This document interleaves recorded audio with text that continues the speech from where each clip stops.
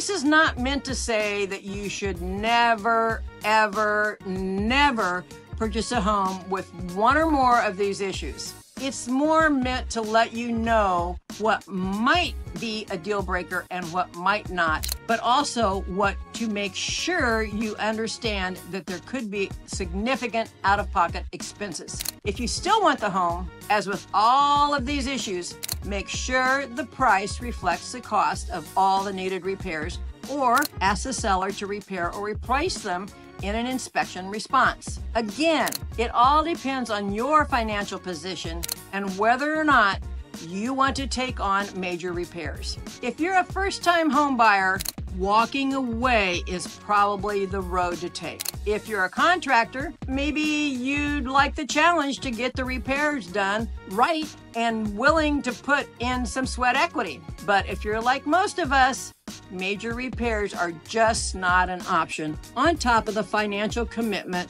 of buying, and you just can't afford the out of pocket expense for major repairs. Note that buying still is a much better financial choice than renting. But I digress yet again.